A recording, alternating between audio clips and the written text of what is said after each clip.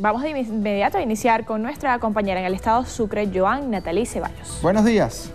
Desde la calle Buenavista de la ciudad de Cumaná amanecemos con información sobre el gran problema de insalubridad que mantienen los habitantes de esta zona a los alrededores del mercado municipal de la ciudad. Como pueden observar en las imágenes, las aguas negras se encuentran a lo largo de más de tres cuadras. Los vecinos manifestaron que esta situación la viven desde hace 15 años,